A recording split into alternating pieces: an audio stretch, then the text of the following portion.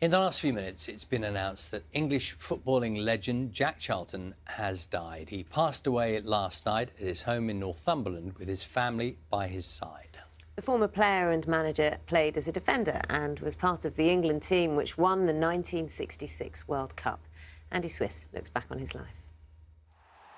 Few have blended courage and charisma quite like Jack Charlton, as a player, a manager, and as part of English football's most famous family.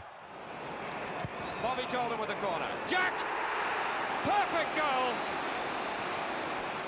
Charlton grew up in Northumberland and after a brief spell as a miner, opted for a career in football, along with his younger brother Bobby.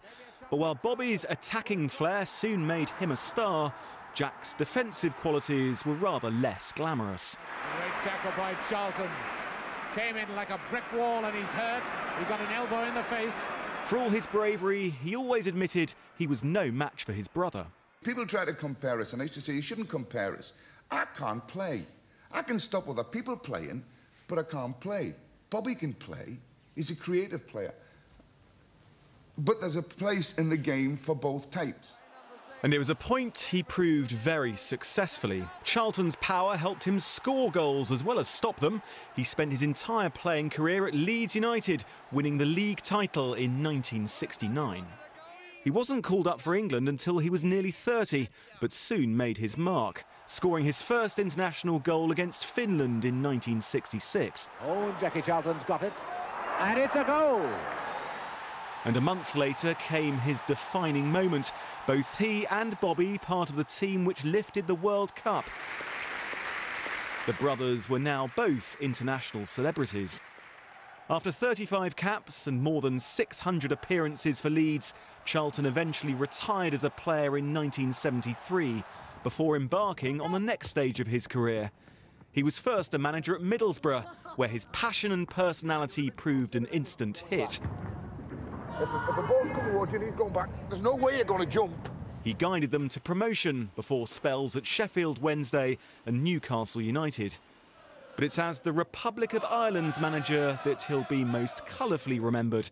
After taking them to their first ever World Cup in 1990, Charlton's team produced the shock of the tournament by reaching the quarter-finals.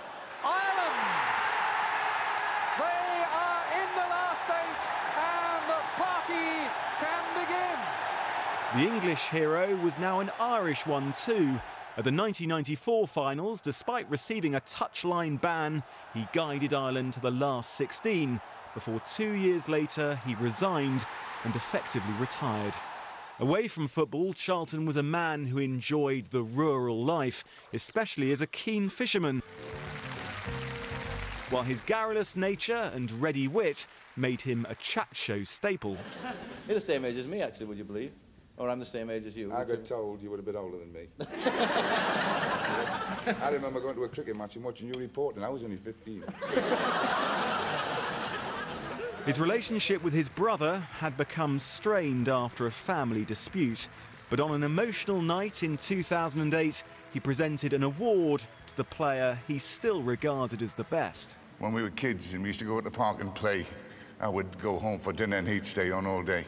Bobby Charlton is a the greatest player I've ever seen. He's my brother. But while he often lived in his brother's shadow, Jack Charlton's achievements, like the man, stood tall. One of English football's biggest and best loved characters.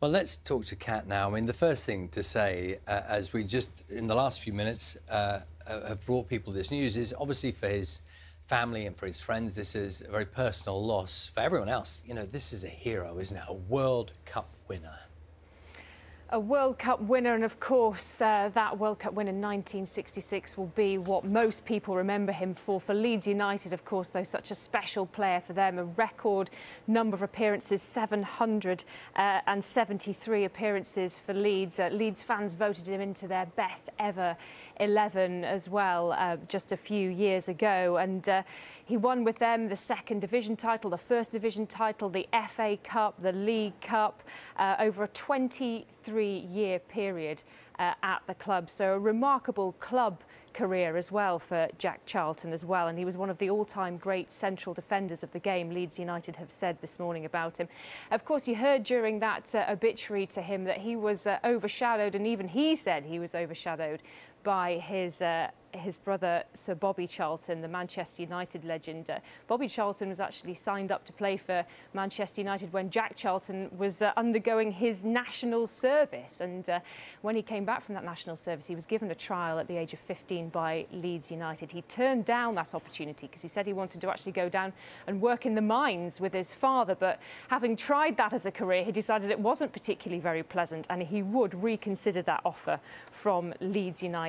And uh, the rest, as they say, is history. It was his mother who got him and the rest of her sons into playing football. His father apparently wasn't that interested in the game of football at all, but uh, his mother was a keen school football coach. She was the one who got her boys uh, involved in uh, playing football. And he went on, of course, after that. Uh, uh, signing up for Leeds United to play for England, to represent his country 35 times, playing in two World Cups and a European Championship. And we heard as well a really good and uh, successful managerial career followed pretty much straight after the retirement from his playing career. He went on to lead Middlesbrough to the 1974 Second Division title, led Sheffield Wednesday to promotion while he was in charge there, also had a spell at Newcastle United as well.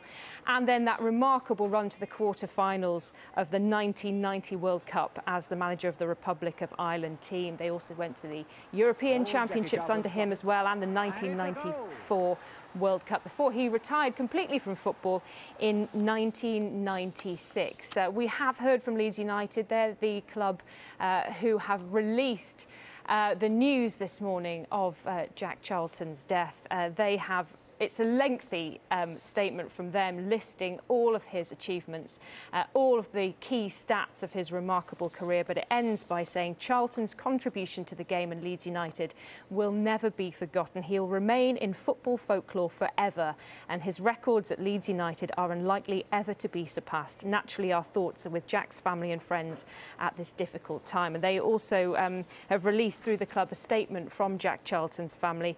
It says Jack died peacefully on Friday, the 10th of July, at the age of 85. He was at home in Northumberland with his family by his side.